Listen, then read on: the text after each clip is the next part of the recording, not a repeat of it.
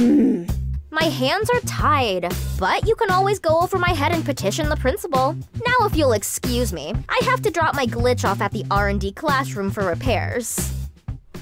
I've never met the principal before. What do you think he's like?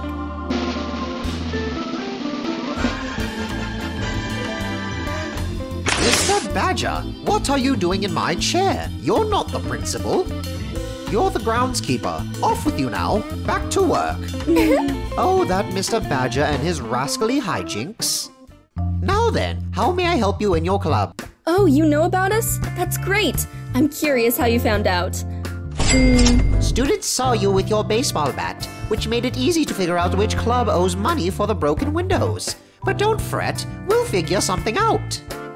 I'm sorry, but the Scooter Gang bylaw was added to the school charter to honor our late auto shop instructor, Winner von Vespa. Oh boy, he hated nerds. I'm sure Miss Lovakova is simply being spirited. It's the start of a new school year, you know. On that note, may I suggest that you ladies focus more on your own club? After all, hmm.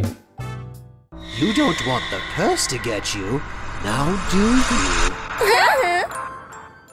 Good morning, Professor Gracie. Thank you for agreeing to repair my game deck.